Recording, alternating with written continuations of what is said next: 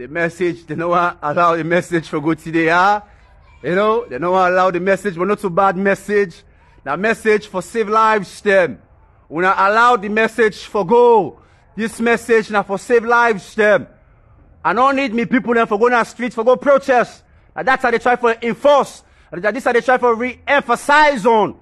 I don't need me people then for go on the streets for protest. Because the ECOWAS community don't become aware of we political crisis.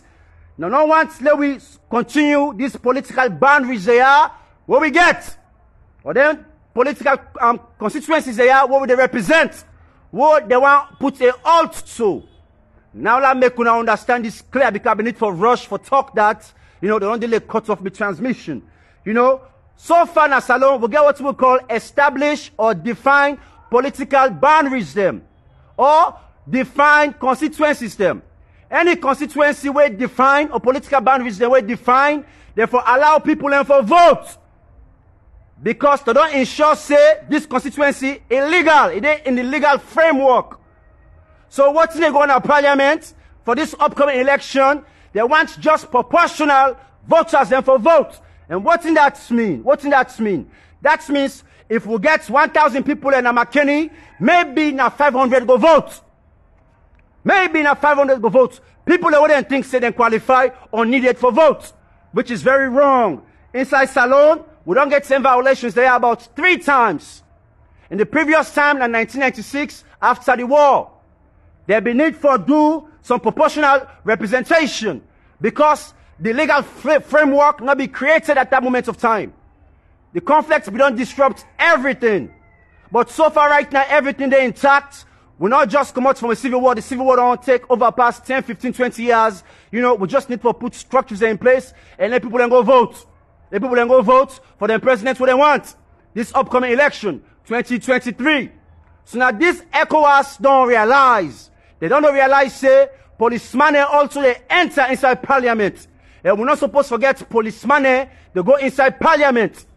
Because this now the people that they represent the people them. This now representatives eh, them, that they represent the people them. You know, this now a civil place where they for go discuss issues them. Not so place where policeman for go or soldier for go. Parliament. You know, the well of parliament some become corrupt inside Salone. So ECOWAS totally aware of this because then there's uh, the talk of the issues they are. What's the ECOWAS NEPA? What thing they do? The big full business with the NEPA. Well, they're totally aware. They're totally aware. And what the ECOWAS say, then go send representatives them for come inside with parliament and try to understand what's they going for this upcoming 2023 election. So the message now, I don't want none of una for go on the streets, for go fight, for go protest, for go die, for nothing. As long as ECOWAS aware of what's going on, if 2023 come, would I ever become victorious? Not go fit. You bear, you put you, you put your hearts down, you focus on what you do and try for better your lives. The most important thing, the ECOWAS community aware of the situation, and which is paramount.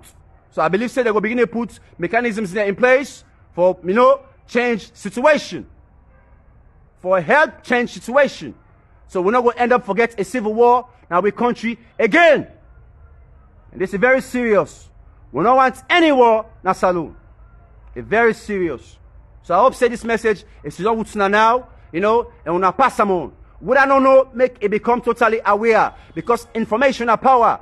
Then when you not get the information, you just think say nobody not care, nobody not, involved in a political crisis. Then people then go and take actions then to their own hands them. Go on the streets and try for faith.